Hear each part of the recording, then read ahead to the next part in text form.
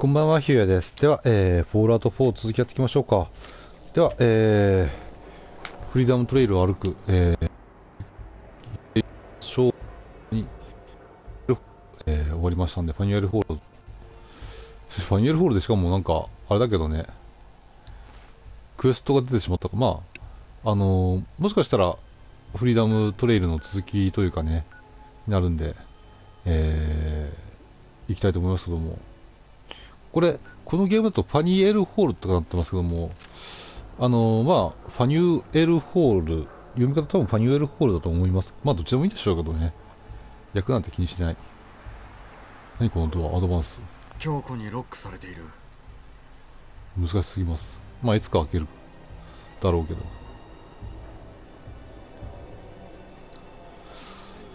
と、と、フリーダム、えっ、と、フリーダムじゃないと、ファニエルホールの正面って本当はこっちなのかな？あの、ホールの、まあ、集会場ホールのところを見てると、あっちが、こっちが正面っぽいけどね。トレイルは、一応、ん。これがトレイルの続きなんだけど、向こうなんかあんのか？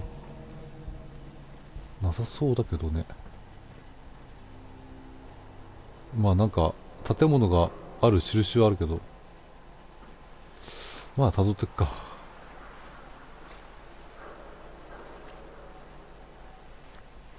でもフリーダムトレイル辿るのがさ、あのー、まあ、観光しながら、観光しながらっていうか、その、いろいろ見学しなしたりとか休憩とか入れると約1日かかると いうことでえこの肉取れないのかな？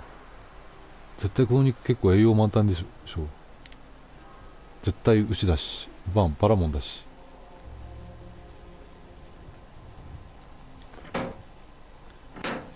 バラモンの肉を食べるってあれだよねなんか。バラモンって 全然あの話がそれるけどバラモン教のバラモンから来てるとしてあのまあインドのだからヒンズー教ヒンズー教バラモン教だからヒンズー教まああのヒンズー教になる前のバラモン教だろうけどここは何？地下鉄駅？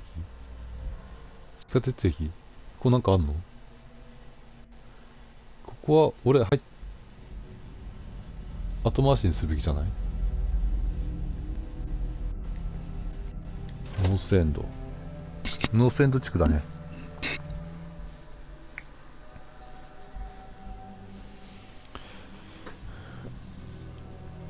だとしてまああのー、ほらヒンズー教だと牛を食べちゃダメじゃないですか。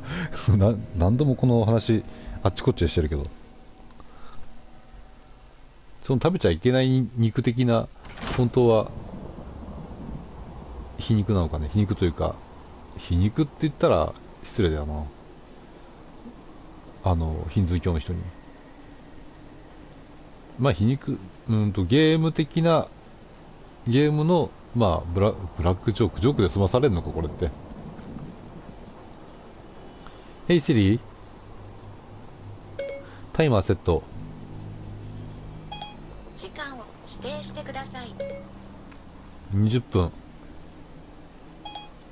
了解ワンウェイ20分からカウントダウンします。はいお願いします。さてさて。ここら辺建物これは何だ？こ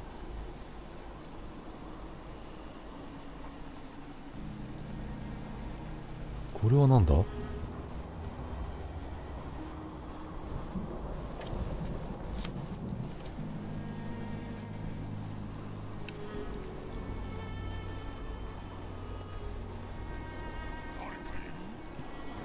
え、え、だ、誰誰誰？っていうか、まあ、完全にスーパーミューだったけど。ちょっと俺、これ、ここの建物が気になってるんだけど。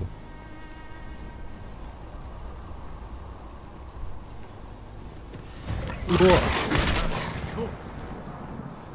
ぱりこれ強い。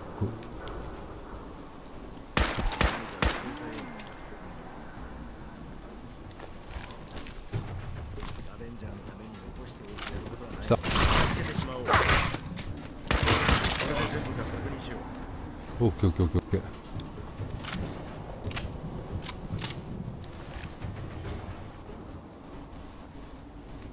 これはちょっとこの角度から見てみようか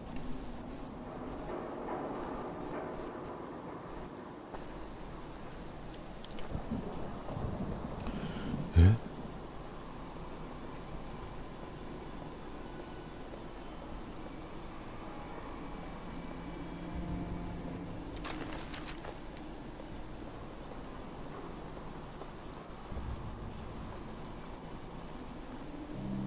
これポール・リビアの家、えー、1680年に建てられたこの木造建築は、えーボストン全体で最も古い建物です。え全体で最も古い建物なの？このノーセント地区の、えーこの家は1770年に著名な愛国者ポール・リビアが購入しました。ポール・リビアは家族と、えー、かっこ16人の子供。16人の子供？超いるな、えー一緒に1800年までこの家で過ごしました。あ建てられたのは1680年だけどえっ、と1770年に購入してそこから1800年までだから30年間過ごしたんだね。びっくりした。途中のあの一番最初の1680年から1800年って100年以上一緒に過ごしたのかと思った。彼が、えーサミュエル・アダムスとジョン・ハンコックに英国国兵士が自分たちを捕らえて、えー民兵の武器庫を制圧しに向かっていることを警告するために、えーレキシントンとコンコードへ有名な真夜中の機構を行ったのはこの家に住んでいる時でした。ということで。はいえー、誰もいないよな誰もいないよな。はいえっ、とポール・リビアの家。これもあれですね。あのーフリーダムトレイルの名所のところですねえー、ニューヨークの次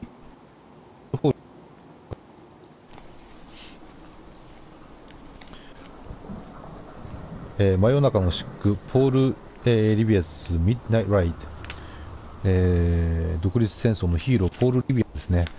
えー、とまずはポール家の説明から、えーノースエンドの住宅街の中に当時の姿のまま保存されている小さな中庭があるポール・リビアの家ですね。木造2階建ての、えー意外に簡素な家は、えー現存するボストンダウンタウンの最古の家屋だ。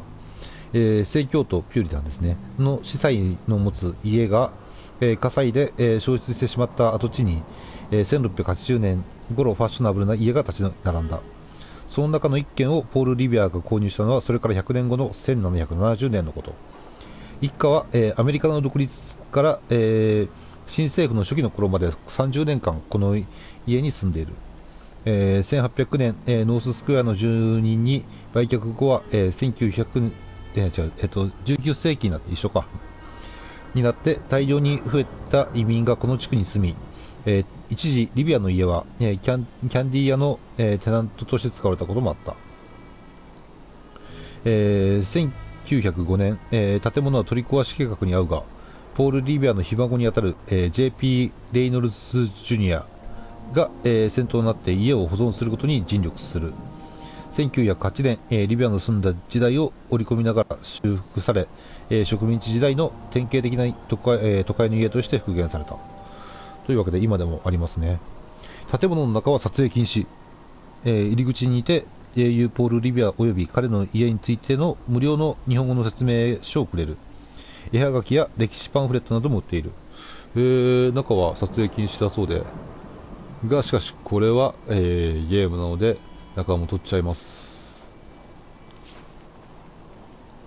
中も取っちゃいますけどどうですかね。えー、こんな風になってんだ。こんな風になってんだじゃないってな。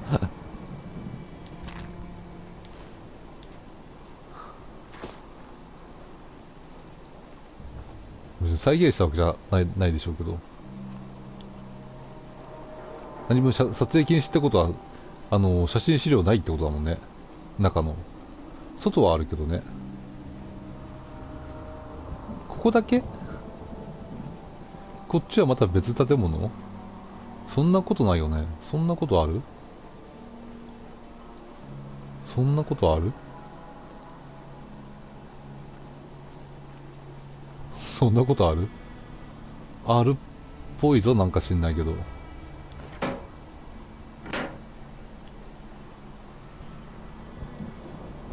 あるっぽいぞそこれ駅だもんね。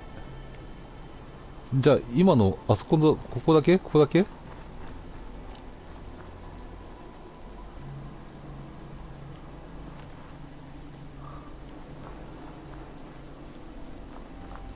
一応ここは中庭ってことにはなってんの？あ2階があるけど2階の登り方はジャンプで行くしかない？そもそも登れない？てい。無理か。まあ何もないもんな別に。一応えっと独立戦争 こんなちっちゃな家で何もないけども。えー、いや本当のはそんなにちっちゃくはないぞ。そこそこいい家ですよ。都会のね。えっと独立戦争のヒーローポール・リビア。ポール・リビアとはポール・リビアの名はアメリカ人なら国民的詩人ヘンリー・ワッツワース・ロングフェローの詩、えー、真夜中の疾苦で馴染み深い。彼は独立前のボストンでフランス系移民の父の後を継ぎ、えー、銀細工職人として独立し一家を構えた、えー、銀細工の他にも楽譜などの印刷や、えー、銅版画の技術を生かして政治風刺画を、えー、描いたりしていたが、えー、やがてボストンの、えー、ボストンの職人階級の政治的リーダーとしてジョン・ハンコック、えー、サミュエル・アダムスとも親交を深めていく、えー、彼はボストンのさまざまな独立派のグループに所属し1773年ボストン茶会事件にも、えー、先住民に偽装した、えー、急進派の一人として参加、えー、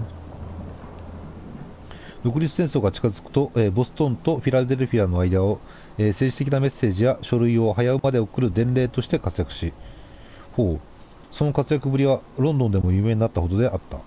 ロングフェローの死で名高い、えー、真夜中の疾苦は独立戦争の初戦となったレキシントン・コンコードの戦い前夜。なんで俺ちょっと今読め読めなかったんだ。だってレキシントン・コンコードだからこのさっきあのこのゲームに出てきたやつなんでね。えーと、イギリス軍の進路を早馬で、えー、ボストンからレキシントンの独立軍に知らせたというもの。はいはいはいはいはい。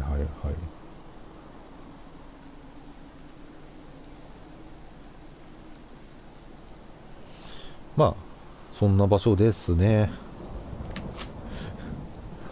雑かだってちっちゃいんだもんこのあれが。この家がちっちゃいんだもん。ちょっとえっ、ー、と観光に物足りないっちゃ物足りないけど。まあまあまあまあまあ。普通普通何も知らずにこのゲームやってる人はこれスルーするよね本当に。あんなのも読まないだろうし。読むかな。まあまあまあまあ。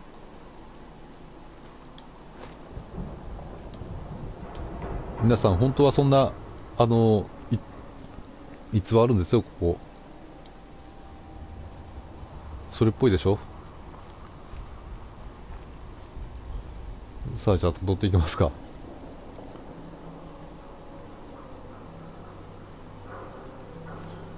おっとなんかそれっぽいなんか像がありますけど。オールドノースチャーチオールドモースチャーチ来たよ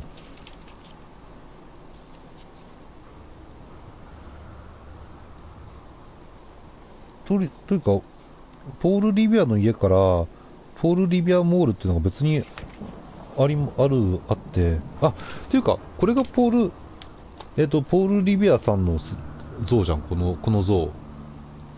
ちょっとこれ今めっちゃ夜だからあれだけど。これポール・リビアさんの像じゃん。すごいすごいすごい。え今までさまあミッツメンの像は意外とさそれっぽかったじゃそれっぽかったけどさまああの全その完コピじゃなかったけどねこのポール・リビアの像に関してはなぜか超完コピだよ。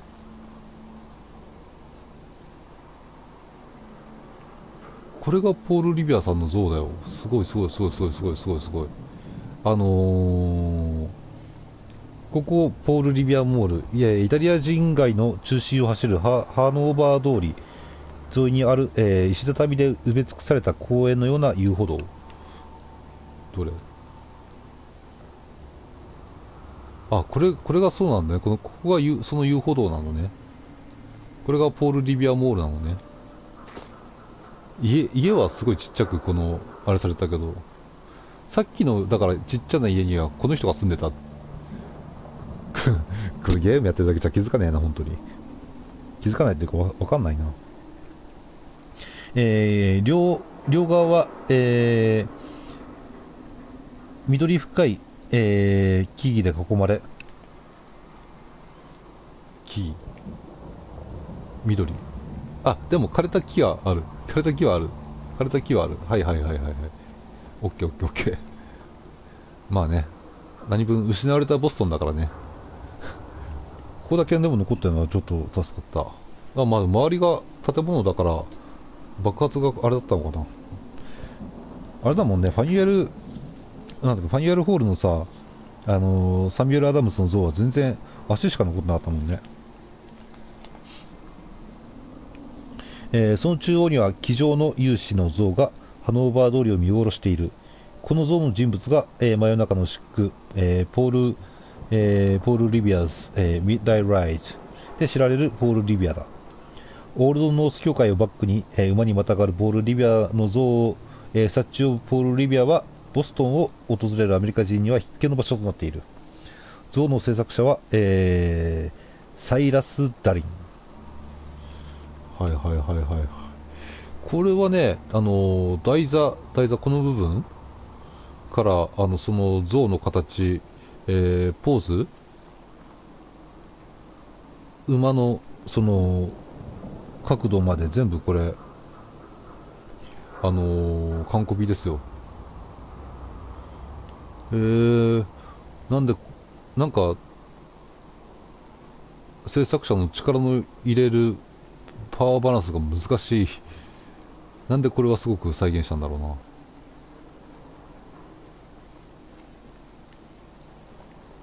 で、えー、次はここがオールドノース教会と。えー、っとオ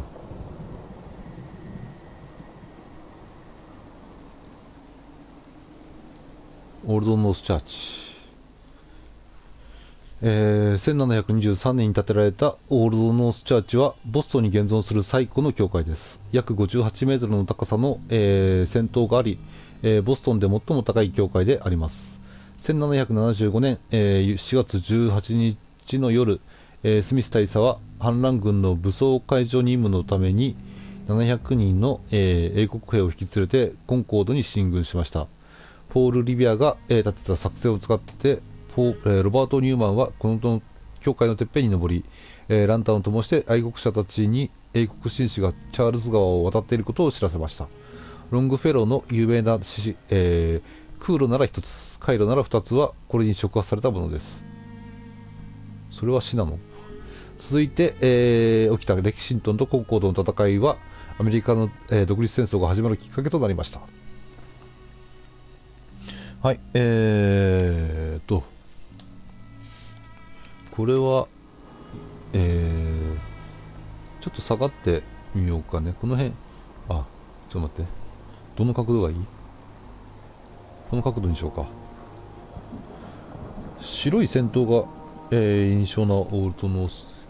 戦闘が映る場所ってどの角度が映る？ちょっと向こう側から撮ってみる。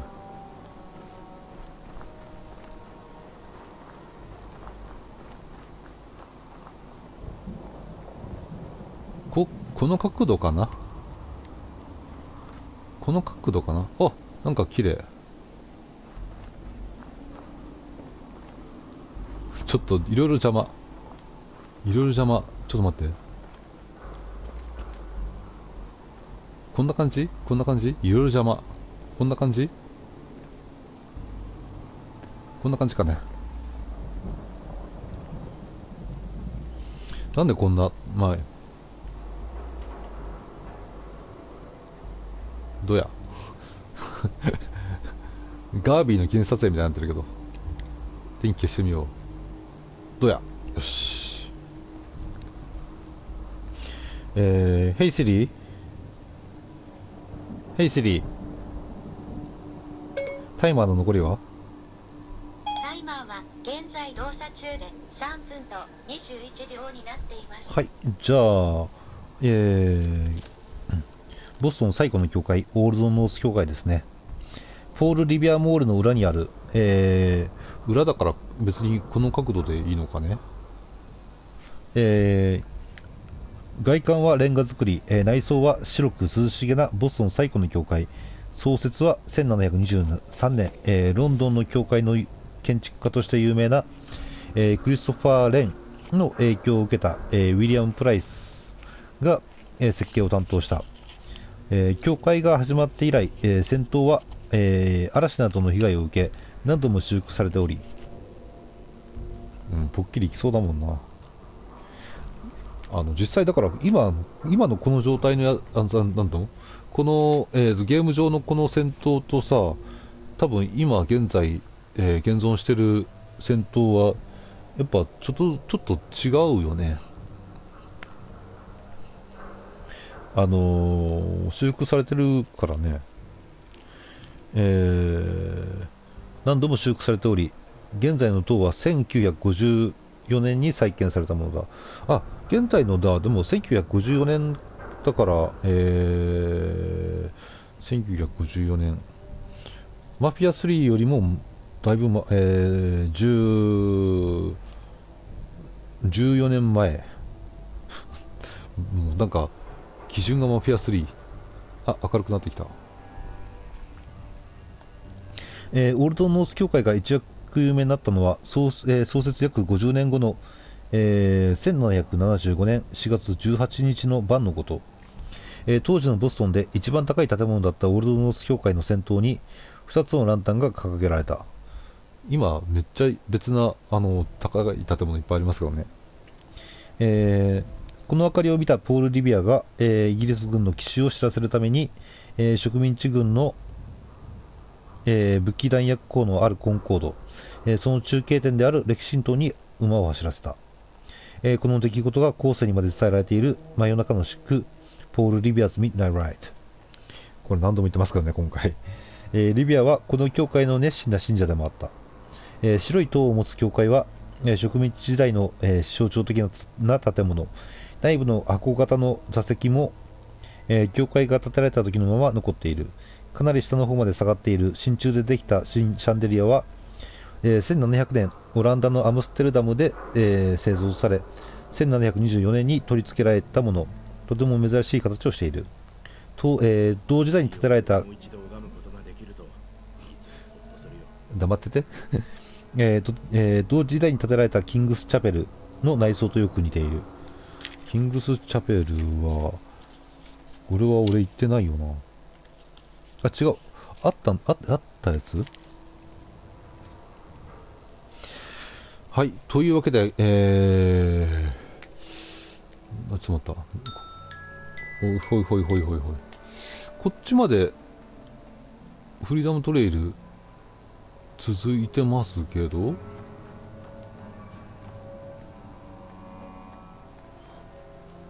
てますけどてますけど続いてますけど。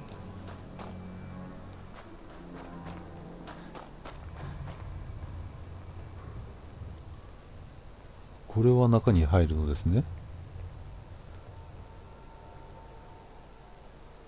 マーカー。1R うん。トレイルは教会で途絶えてる。Hey Siri 1R あごめんなんでもないなんでもないちょっと待って待って待って待って待ってもう一回。Hey Siri メモ取って。メモの内容はどうしますか？1R はい、一歩というメモを作成しました。なんでだから R が4になるの？君は。R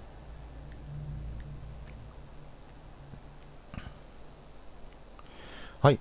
えー、フリーダムトレイル、トレイルが、えー、と境界で途絶えてると、えー、いうふうに言ってましたけども、えー、実際のボストンではというか、あのーまだちょっと続きますんで、この中中に、えーこのまま中には入らずに、あのーえー実際のボストンのフリーダムトレイルに即して進んでいきたいと思います。っていうか、ここからまた続いてるじゃんね。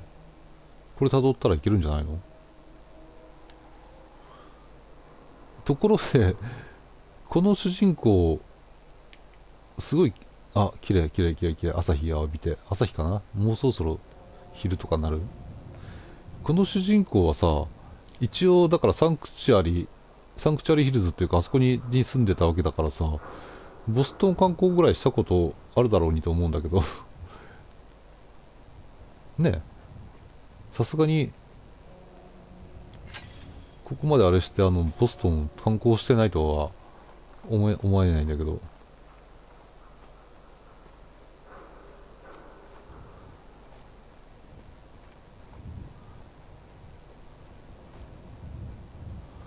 これがさあのーフォールアウト3とかだったら、あのー、ボルト生まれのボルト育ちの主人公だったら、全然外の世界は知らないからいいんだけど、ち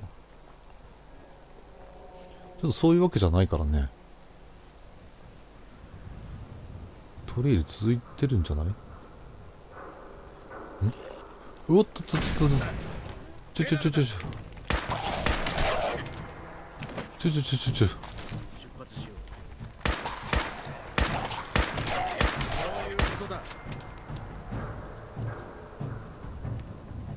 もう一匹来る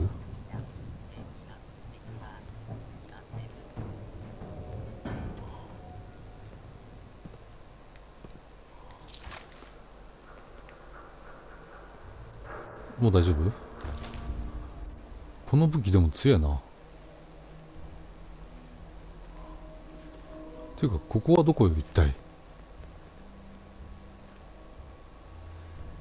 では、えっ、と、今回ここまでにしましょうか。えーご視聴ありがとうございました。ヒューエでした。バイバイ。